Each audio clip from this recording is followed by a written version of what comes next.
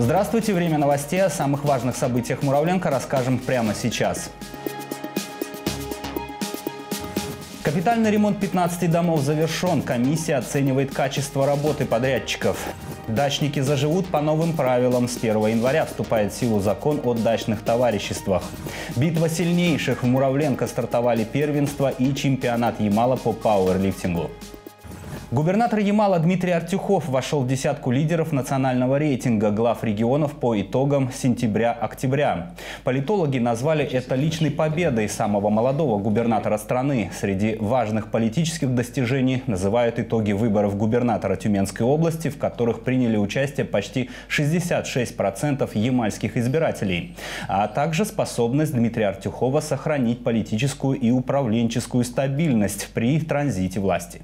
Качество проведенного в Муравленко капитального ремонта жилых домов оценила специальная комиссия. В этом году на капитальный ремонт 15 многоквартирных домов в Муравленко было выделено более 100 миллионов рублей. Большая часть из них – это средства регионального фонда капремонта. Остальные финансы – окружной и муниципальной казны, рассказывает Анастасия Пономарева. Объем работ по капитальному ремонту домов на 2018 год был запланирован впечатляющий. В программу вошли 15 многоквартирников. На каждом из объектов проводились разные виды работ, от реконструкции кровель до замены инженерных коммуникаций. Насколько качественно удалось подрядчикам выполнить намеченное, оценила специальная комиссия. Комиссия осмотрит 4 дома, э, проверяет все виды работ э, скрупулезно, внимательно. Значит, э, в конце работы комиссии подведем итоги. Ну, естественно, какие-то замечания будут. Возьмем срок на устранение, обговорим с подрядчиком. И в ближайшее время мы эти дома должны подписать. Комиссия, в состав которой вошли представители фонда капремонта и окружного департамента государственного жилищного надзора, осмотрела 4 дома. На Ленина 75 и переулке Новоселов 4 проверяющие оценили качество новой крыши. Посмотрели кровли плоские на двух домах, по ним замечаний практически нет.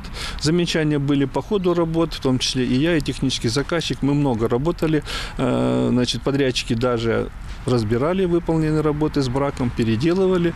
Но в итоге я считаю, что кровли получились э, хорошими. В домах по адресам Ленина 67 и Дружба народов 18 подрядчики выполнили комплекс работ. Отремонтировали кровлю, обновили фасад и инженерные коммуникации, сделали новые входные группы. По отделке по ремонту фасадов и по ремонту крыш как бы вопросов больших нет. Э, но вот остаются нюансы. Это по э, качеству ремонта внутридомовых инженерных систем. Вот по ним есть замечания. Мы прошлись, сварочно-монтажные работы выполнили ну, достаточно качественно. Замечания незначительные, но их нужно исправлять. Только после того, как все недоделки будут устранены, комиссия подпишет акт приема выполненных работ. Заказчик управления коммунального заказа, оценивая в общем проведенный капремонт, отмечает, проблемы были, но сейчас их удалось решить. Нам только единственное мешала немножко погода, потому что много было ремонт кровель. Э, естественно, там было полностью был, снят э, мягкая кровля. Естественно, э, это были неудобства и для жителей. Есть моменты, что мы затопили и квартиры, э, поэтому подрядчик сейчас э, работает над этим вопросом. Качество работ на остальных 11 домах комиссия планирует оценить на следующей неделе. Анастасия Пономарева, Сергей Шалафан. Новости Муравленко. Два месяца остается до вступления в силу нового закона о ведении гражданами садоводства и огородничества для личных нужд. И чем меньше времени остается до момента, как дачники начнут жить по новым правилам, тем больше новый закон обрастает различными слухами. Мы попытались разобраться в новшествах. Подробности в следующем сюжете. Нового закона, вступающего в силу с Нового года, муравленковским дачникам бояться не стоит. Единственное существенное изменение, которое грядет, это смена названия формы объединения. Понятие «дачное товарищество» упраздняется, а из девяти существующих форм остаются только две – садоводческое и огородническое товарищество. Каких-то болезненных реформ не должно быть для нашего дачного товарищества. То есть наш устав, который принимали в 2012 году, он полностью адаптирован под новый закон, да, то есть у нас есть реестр, у нас есть правила ведения реестра, начиная с этого. А с 2012 года мы сразу же перешли на безналичные расчеты, то есть у нас не работают с наличностью. С 2019 года ДНТ «Дружба» перейдет в разряд СНТ – садоводческое некоммерческое товарищество. При такой форме ведения хозяйства гражданам можно строить дома на участках и, соответственно, оформлять их собственность. В садоводческом товариществе можно возвести садоводческий садовый домик, соответственно, зарегистрировать на него право собственности, на который предоставлен, вернее, пользуется для временного пребывания граждан на территории этого участка. Также есть понятие огороднический участок. Там в огородническом участке у нас не признается объект недвижимости, то есть это какое-то временное э, э, сооружение для хранения инвентаря и так далее и тому подобное. Дачникам, у которых есть документы, удостоверяющие право собственности на землю или постройку, не нужно в срочном порядке его менять. Это произойдет автоматически в случае продажи недвижимости. Новый владелец получит уже измененный документ. Работы по оформлению земельных участков, они идут. В любом случае, каждый ну, товарищ, дачный, будь это либо садовое товарищество, должен оформить свой участок э, в собственность, либо взять его в аренду. Соответственно, потому что в, люб... в другом случае, получается, они используют земельный участок без проустанавливающих документов. Но подводные камни в новом законе все-таки есть. К примеру, документ регламентирует процедуру принятия новых членов товарищества. И по мнению Андрея Алексеева, в реальности сделать это будет очень сложно. Если раньше у нас а, был институт уполномоченных, и мы могли оформлять прием в члены товарищества голосованием да, двух уполномоченных, то сейчас у нас прием должен осуществляться на основании решения общего собрания. То есть как это будет выглядеть, как мы должны собрать более 500 человек для того, чтобы проголосовать, чтобы человек вступил в товарищество. Ну, пока вот закон этот новый ответ не дает никакой. 24 ноября в Доме культуры Украины пройдет общее собрание дачников. Среди прочих вопросов затронуты тему нового закона. Будущие теперь уже садоводы должны определиться с изменением устава и порядком принятия новых членов товарищества. Эрнест Бавшин, Анатолий Шуликов, Новости Муравленко. Муравленковцам предлагают назвать самые яркие события 2018 года. На портале «Живем на севере» начался сбор предложений от горожан.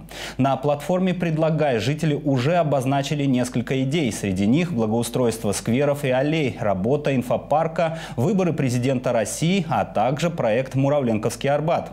Предложения принимают до 12 ноября. А на платформе «Решай» стартовал новый опрос. У муравленковцев интересуется, насколько качественно качественно выполнены работы по благоустройству новых скверов, дворовых территорий и детских площадок. Мошенники продолжают зарабатывать на доверчивости граждан. Только за прошедшую неделю на удочку телефонных и интернет-аферистов попались шесть муравленковцев. В общей сложности пострадавшие перевели злоумышленникам более 100 тысяч рублей, рассказывает Нина Гультяева. Схемы обмана все те же. И во всех случаях люди добровольно переводят с банковских карт собственные деньги. К примеру, получив сообщение о якобы списанных средствах с банковской карты, мужчина перезвонил по указанному номеру и попал на мошенника.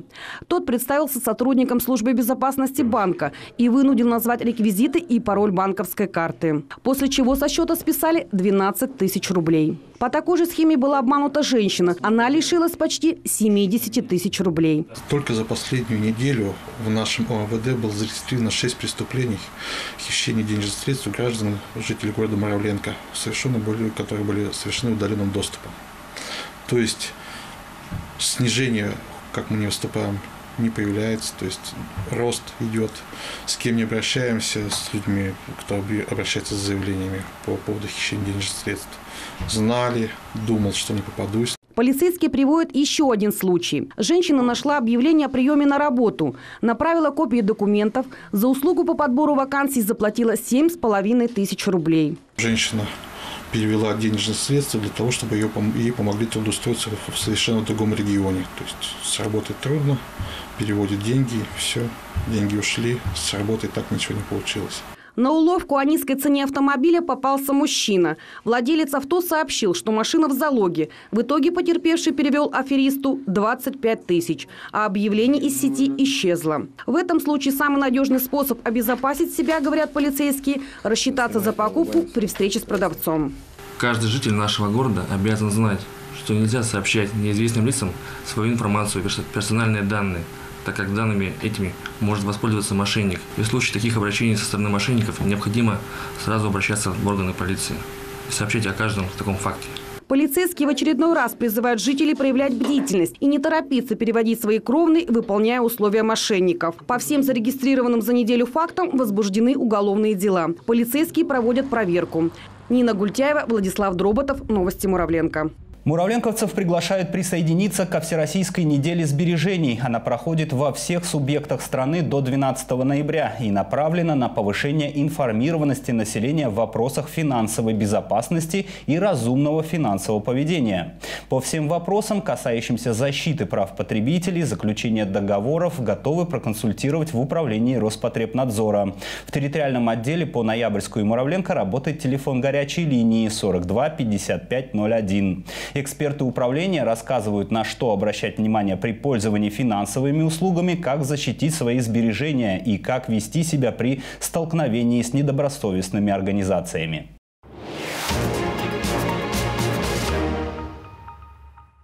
Канун Дня народного единства Муравленко присоединится ко всероссийской акции «Большой этнографический диктант». Он пройдет в третьей школе 2 ноября, начало в 11.30 утра.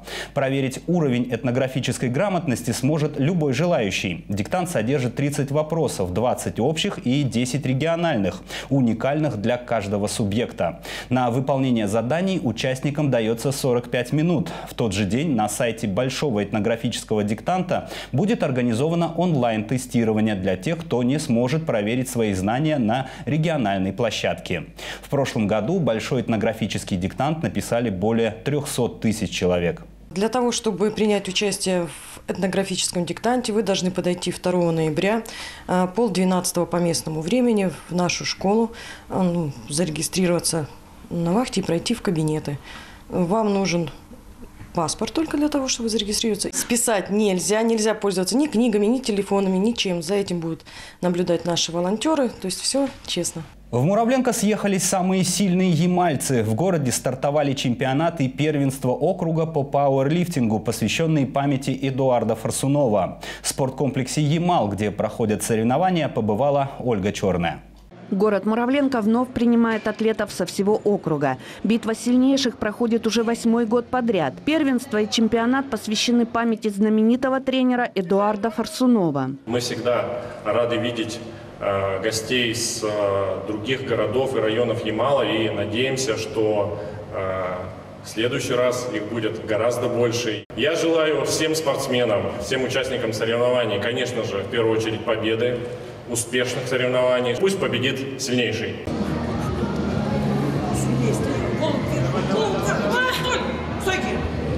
Пауэрлифтинг сегодня спорт не только для юношей. Представительницы слабого пола выступают наравне с мужчинами, но в своей женской категории. На помосте они борются с килограммами и, главное, с самими собой. Кристина Никифорова представляет Муравленко. Пауэрлифтинг – это прежде всего возможность проверить собственные силы, говорит девушка. В приседании со штангой она взяла 87,5 килограмм. Самое главное – это тренировки, это тяжелый труд, это правильное питание, безусловно, потому что без питания ничего, к сожалению, не выйдет.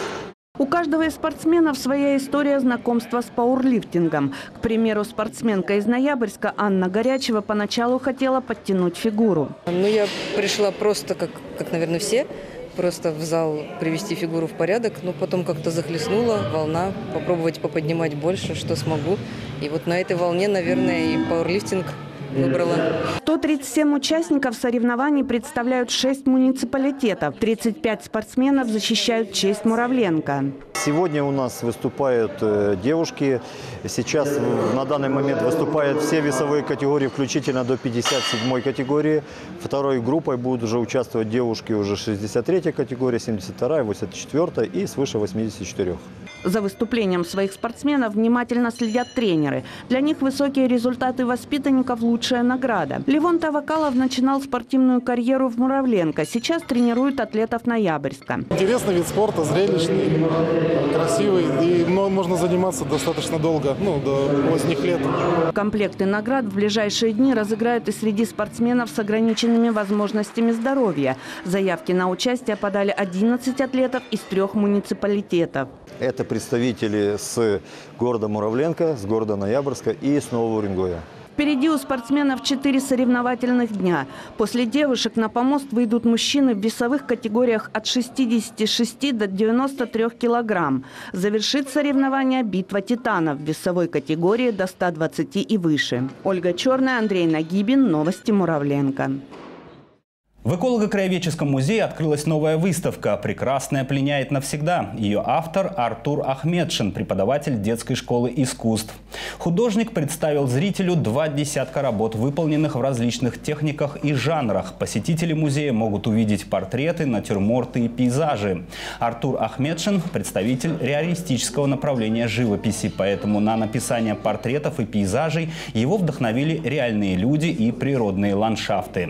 Я придерживаюсь реалистического направления, а всякий художник-реалист, он черпает вдохновение из окружающего жизни. Вот. Э, он может сочинять, но источником для его сочинения является событие, которое он лично переживает.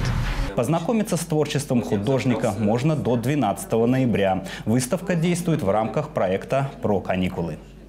Это все новости на сегодня. Еще больше информации на нашем сайте муравленко24.ру.